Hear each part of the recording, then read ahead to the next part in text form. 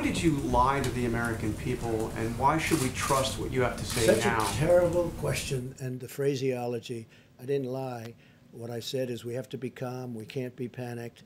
Uh, I knew that the tapes were. These were a series of phone calls that we had, mostly phone calls. And uh, Bob Woodward is somebody that uh, I respect just from hearing the name for many, many years, not knowing too much about his work, not caring about his work. But I thought it would be interesting to talk to him for a period of, you know, calls.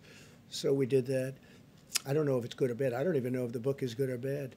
But uh, certainly, if uh, he thought that was a bad statement, he would have reported it because he thinks that you know you don't want to have anybody that uh, is going to suffer medically because of some fact. And he didn't report it because he didn't think it was bad. Nobody thought it was bad. Wait a minute, wait a minute. And your question, the way you phrase that is such a disgrace. It's a disgrace to ABC television network. It's a disgrace to your employer. And that's the answer. You ready? Because You you I? I love. You- you- you of course I didn't. Of course I didn't. No, no, Deadlier no, no. than the flu, and then you went out and told the American public that this was just like the flu. Let me I tell mean, you you, you something. told We've had flu and you told everybody else something else. No, and five times, right? Five times. Do you ever hear the expression five times? We've had flu years where we lost 100,000 people. The flu is a very serious problem for this country also. And we've been losing them. Scott, what kind of a number have we lost over the years with flus? Into the hundreds of thousands. Well, I mean, the, the last five years have been something like thirty-five to eighty thousand per year, every year, even with antiviral drugs and even with Flu is a very serious problem also. You But just so you this, is- this is worse than the most stren- deadlier than the most strenuous flu, Okay. and then you went out and said it's just like the flu. What I went out and said is very simple. Listen, what I went out and said is very simple. I want to show a level of confidence and I want to show strength as a leader and I want to show that our country is going to be fine one way or the other.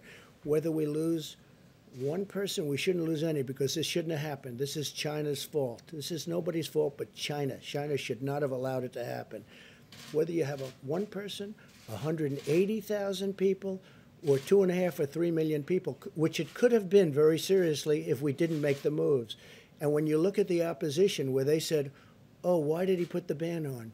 Uh, Dr. Fauci said we saved hundreds of thousands of lives by putting the ban on China and then ultimately putting the ban on Europe. There was no lie here. What we're doing is we're leading, and we're leading in a proper way. And if, frankly, somebody else was leading it, they wouldn't have closed it. If you look at uh, Nancy Pelosi, you look at Cuomo, you look at de Blasio, you look at Biden. Months later, they said there's no problem. They're talking about me. Months later, and before any statement was made, you have to remember, I put the ban on China. So obviously, outwardly, I said it's a very serious problem. And it's always a serious problem. That doesn't mean I'm going to jump up and down in the air and start saying, people are going to die, people are going to die. No, no, I'm not going to do that.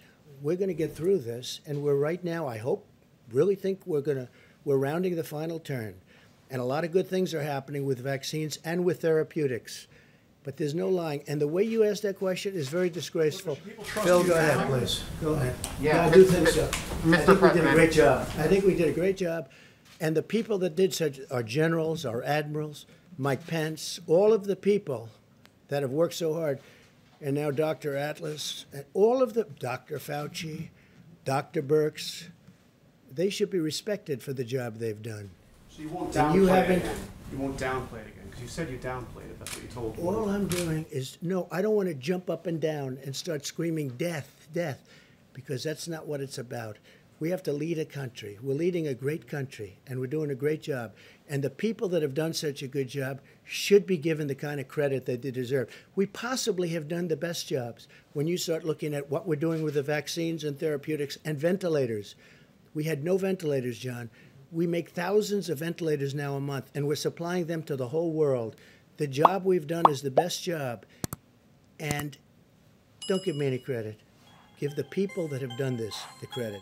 They've done a great job.